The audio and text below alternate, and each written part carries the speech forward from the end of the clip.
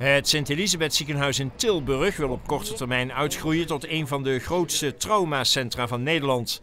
Dat zegt de voorzitter van de Raad van Bestuur in het Brabants Dagblad.